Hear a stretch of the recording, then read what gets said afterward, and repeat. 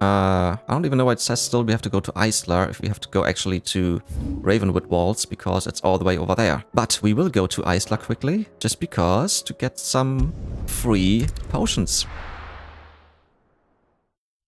So this is just a little hint for everybody who wants to play the game and who doesn't know it.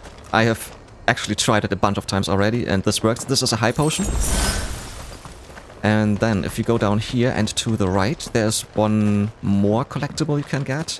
And these are actually two potions. So yeah, whenever you need potions and you are at this spot, you could just do that.